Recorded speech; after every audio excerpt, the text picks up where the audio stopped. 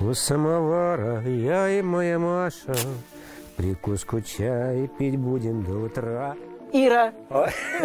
Не Маша, да. Ира, очень приятно. Сереж, ну давай вспомним. Где-то лет 15 назад мы последний раз Ну виделись. в коридорах. В коридорах Ленинградского телевидения. На Чапыгина. Слушайте, ну я рада, что вы меня пригласили в гости. я рад, что вы приехали. Вот видите, по этому поводу самовар достал. Сейчас Ну, попытаемся настоящее, да? Его разогреть. Сейчас вот, я смотрю, уже дымок Да, да, да. Добавляю водичку. Может, еще гости подтянутся. Может, еще подтянутся, конечно. Так, давайте уже попробуем. можно Давайте, да. И трубу. И трубу. Ах, тяга, получится как в проходе. Ну, сейчас отсюда дымок пойдет. Ну, значит, все нормально. Идет? Идет. Себе. О, хорошо. В конце 90-х годов передача «Блев-клуб» на ленинградском телевидении была одной из самых популярных. Вел ее Сергей Прохоров. Как сейчас живет шоумен и чем занимается, мы поговорим за самоваром у него на даче в Рощино. Вот когда мы с вами встретились э, на, полянке, где вы разжигали самовар, мы же вспомнили, что 15 лет назад вы ушли с ленинградского телевидения. Ну вот такой вопрос. Чем сейчас занимается известный, очень популярный телеведущий, шоумен Сергей Прохоров? Я всю жизнь, в общем-то, у меня так получилось. Я работаю в Доме ученых в Лесном при Политехническом университете. И когда туда приехал, ну, я не знаю, можно так сказать, экс-губернатор нашего города Владимир Анатольевич Яковлев и ректор нашего уни... тогда института, Политехнического института, представил ему меня, хотя мы с Яковлевым хорошо знакомы были, мы вместе в теннис играли, там матчи Петербург-Москва. И он говорит, я, говорит, и не знал, что вы блефуете по совместительству. То есть там я уже, да, 30 лет работаю директором, Директор. Там родился Блев-клуб. Э, Да, действительно, это была передача, которая 16 лет существовала на нашем телевидении. Три игрока, и нужно было как-то обмануть на истории, на вопросах, на розыгрыше. То есть задача была провести. Ну, а дальше уже вот э, люди получали очки, люди получали свои призы. И я, честно говоря, за все эти 16 лет просто рад, что жизнь меня свела со многими интересными людьми. А вот расскажите, потому что, наверное, старшее поколение, они помнят, в чем была, ну, как бы идея Блев-клуба. А вообще, вот, э, как строилась вообще передача? Что это было? Три гостя, да, они собираются. Ну, Вот арти- артисты же В основном артисты, ну, публичные люди, так Публичные, скажем, кого да, знают, да. То есть мы и спортсменов, соответственно, брали, мы и э, даже политических деятелей брали. Вот играл и мэр нашего города Анатолий Александрович Собчак вместе с Рудольфом Фурманом и с легендой нашего, я считаю, что отечественного кино, это Михаил Ульянов. Прекрасная, красивая игра. То есть задача была такая, они приходили, мы друг друга разыгрывали. Сначала вот как бы такой, знаете, визитная карточка, знакомство. Верите ли вы, да. да? Ну, какой-то был розыгрыш. Ну, например, верите ли вы, что отличить левую ногу от правой очень легко, на левой ноге большой палец справа? Не верю. Да вы что, подумайте. На ле- Левая нога от правой отличается тем, что, Что на левой ноге нога, левая большой палец вправо. Но есть вопрос, на который есть два ответа. Например, такой. Верите ли вы, что Иван Сусанин автор первого маршрута по Золотому кольцу для польских туристов? Не верю. А я говорю, а это да. Почему? А пока вот представьте, Иван Сусанин, а почему бы нет, что автор первого маршрута для польских туристов, он польское войско завел по Садовому кольцу в болото. В общем-то, он может быть автором да, первого... мо- То есть были вопросы, на которые можно было ответить и так, и так, а были, Но которые... это они задавали вопросы, Нет, герои. тут как бы сначала я задавал вопрос, потом он задавал вопрос. Да. Потом они садились и рассказывали друг другу истории, и визави должен был просто угадать, правда это или неправда. А в конце, в конце, собственно говоря, начиналась вот эта вот моя история, когда я каждому, кто оставался, два, из трех оставались два финалиста, я задавал финальные вопросы, вот которые я вам сейчас задавал. Верите ли вы, что хренотень – это тень, отбрасываемая листьями хрена на соседние растения? Потрясающе. Верите? Верю. А зря. Вот такие вот вопросы. То есть так вот строилась передача. Вот история должна быть такая, смешная. Но на самом деле, я помню, у нас однажды в передаче приехала Рима Маркова, ну, замечательная актриса, подруга Нонны Мордюковой. Вот, и у нее такое фронтовое детство. И я говорю, Римма, я уж не помню по, э, по отчеству как, я говорю, а какие истории будете рассказывать? Ну, мы так иногда, знаете, узнавали, чтобы вот, может быть, что-то подправить где-то немного. Она так хит, хитрецой так сидит и говорит, слушай, ну, если я сейчас тебе их расскажу, тебе же потом неинтересно будет их слушать. Я говорю, ну, в общем-то, да. Она говорит, ты не волнуйся, истории будут хорошие. Я говорю, ну, самое главное, чтобы смешно. Она говорит, ну, как получится.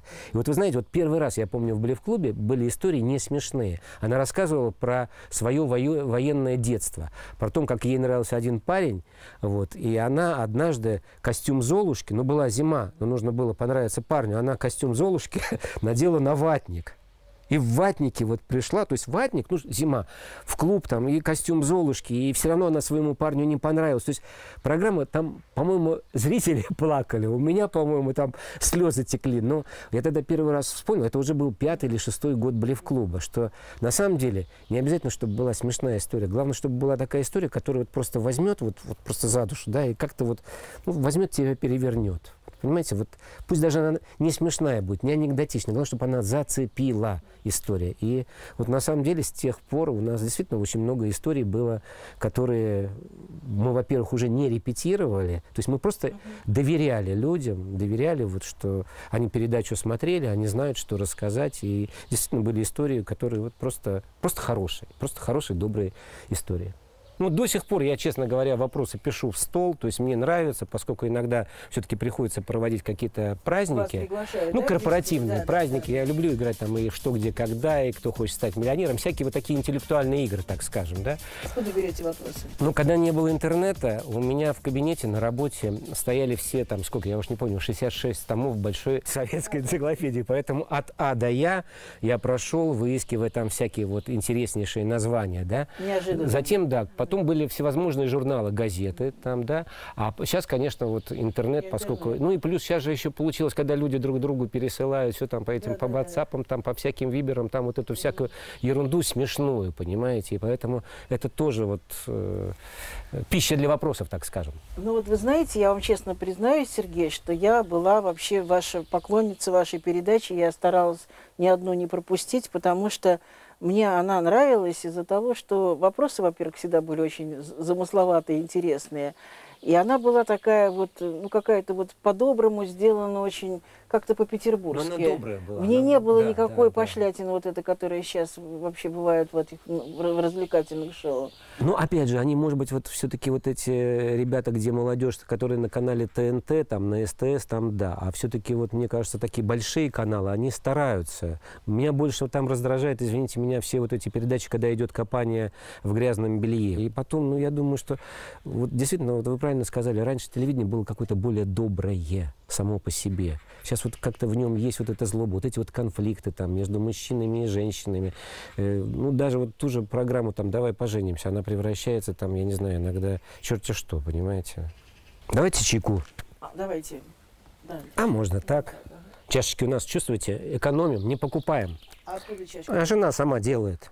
Правда? Да. Вот это валяет там, это крутит на диске, потом все это пришивает, там Она все из трубочек. Вас, ну, в душе да. В душе Красивые да, поэтому чашки. и картины рисуем, пишем правильно, если говорить, и чашки делаем сами. Это все, все, вот то все, что здесь стоит, это все, собственно, своими руками, все она. Ну, это здорово.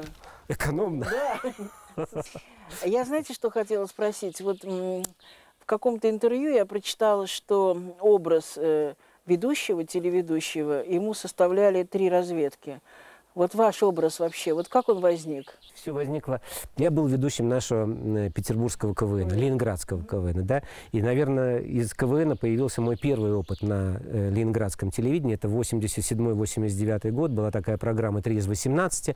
Потом она называлась «Здравствуйте». Это молодежная редакция. Валерий Громов э, возглавлял тогда ее. С этой замечательной передачей я даже, имея вторую форму допуска, работая в научно-исследовательском институте после окончания «Корабелки», меня даже выпустили в Америку. И я не знаю, я этот образ не создал. Я все время вот играл в КВН. Я в КВН играл в армии, играл в институте, играл в школе.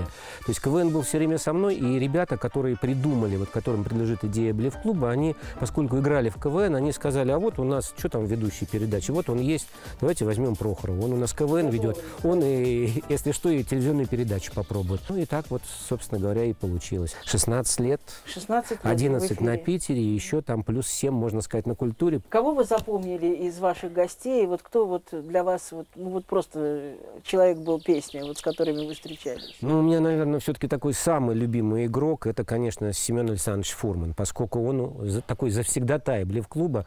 У него э, от Блев-клуба три телевизора, две микроволновые печи, два холодильника, диван. И, и, и говорит, я говорю, слушай, а жену мы тебе не в Блев-клубе начнем? Говорит, нет, жену я сам. Ну и вот мне кажется, для ведущего это как-то высший пилотаж говорить смешном удерживая улыбку. С виду даже казалось, что вы такой человек замкнутый, такой не, не очень даже общительный. Ну, знаете, вот э, Федор Михайлович Достоевский сказал, что красота спасет мир. Э, мы многие годы, вот наша программа, я лично участвовал в фестивале э, дружбы который, имени Аркадия Райкина, который проводили в Риге. Там девиз был «Доброта спасет мир». А я всегда, вот не знаю, всегда добавлял, что улыбка спасет мир. Потому что если человек улыбается, то значит, наверное, у него все хорошо. Если он улыбается человеку, значит, и другой человек в ответ тоже будет улыбаться, и у него тоже будет все хорошо. Поэтому вот видите, доброта, красота и улыбка, они спасут мир. Говорят, девиз Дэнди – быть заметным, оставаясь незаметным. Ну вот это про вас. Спасибо. Спасибо. Скучаем мы без вас. Спасибо. Я тоже немножко скучаю без телевидения. Но мы сейчас вот на самом деле уже сделали тизер. Э, я думаю, что с сентября попробуем сделать Блев-клуб для Ютуба. То есть там уже будет не три человека, а просто два, чтобы попроще было все. Там буквально будет по одной истории, вот эти вот вопросы, которые делают настроение. И еще, может быть, такой, знаете, маленький батл между... Вот, надо выбрать такую тему, которая, вот, например, Поздеев и Сергей Рогожин. Да?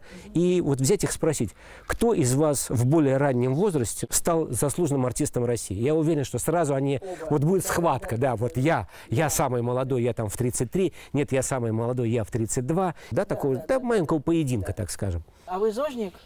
Да, да, ну, за здоровый образ жизни. Зарядку утром делаете? Утром зарядку минут 40, да. Вот на даче, вот видите, велосипеды стоят, могу проехать чуть-чуть. Дома есть тренажер. То есть, ну, на этом все и заканчивается. Ну, слушайте, ну вы как огурчик выглядите. -то. Я, ну, мы не виделись 15 лет. Вот я вам правда спасибо, говорю. Спасибо. Вот со временем блев-клуба вы не изменились. Спасибо. В одном и том же весе держитесь. ну, ну, честно. Я бы даже сказал, что, наверное, тогда, я вот иногда фотографии рассматриваю так вот в, Ютубе, мне кажется, там даже немножко пошире, пошире лицо было. И усы попышнее были.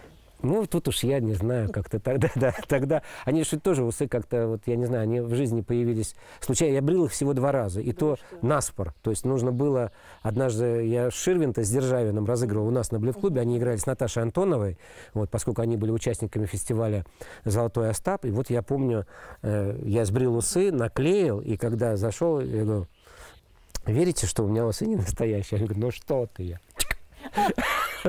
Красиво. А, а еще один раз это был на Новый год, когда вот в институте мы там делали новогодние праздники на 2000 человек, такие вот первые дискотеки вот в Корабелке, как бы, да, новогодние праздники. И вот я там тоже на, наспор э, усы как бы сдергивал с себя. Как, как в фильме «Бриллиантовый У вас ус открылся. Спасибо. Вот ваш рецепт. Как жить счастливо и в гармонии с собой? Ой, да главное, мне кажется, вот нужно так подобрать окружение тех людей, родных, близких, знакомых, приятелей, друзей, чтобы вот было приятно ждать звонка, когда они позвонят. Если они долго не звонят, значит, ты должен сам это сделать. Мне кажется, что вот должны быть такие моменты, когда можно ну пусть даже ехать с близким человеком в машине и ни о чем не говорить, но все равно от того, что вы ничего друг другу не говорите, ничего не меняется. Вы все равно близки друг к другу.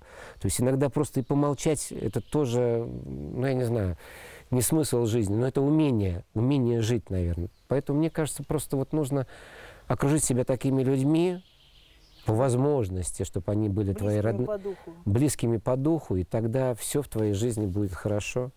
Но неприятности они все равно будут, и все равно с ними придется как-то, наверное, бороться. Ну что я могу сказать в заключение нашего интервью? Приходите к нам работать, в нашу команду. Вы веселые, с вами легко. Мы вас берем к себе. Спасибо большое, спасибо. Подумай, можно подумать. Да. Потому что есть все-таки дом ученых, где я почему-то так решил, знаете, у меня однажды, я помню, теннисные друзья, есть такой Вячеслав Шориков, он пишет книги про теннис, такой историк нашего петербургского тенниса, сам поигрывает в теннис. И вот я помню, он однажды пришел, посмотрел Дом ученых, я ему все показал, все помещения, он так походил, вот чувствует, что это мое родное, он говорит, Серега, вот если с тобой в жизни что-нибудь случится, ну, то есть ты умрешь, уйдешь из этой жизни, он говорит, я знаю, чьим именем назовут Дом ученых. Мне, знаете, так было приятно на самом деле. Вот, потому что, ну, он такой родной для меня. Я, опять же, в нем и КВН родился, в нем и Блев-клуб родился. Ну, понимаете, вот все, вот все произошло в Доме ученых. Тогда приходите просто консультантом к нам. С удовольствием. Если возьмете. Возьмем. Мы веселых любим и находчивых. Спасибо.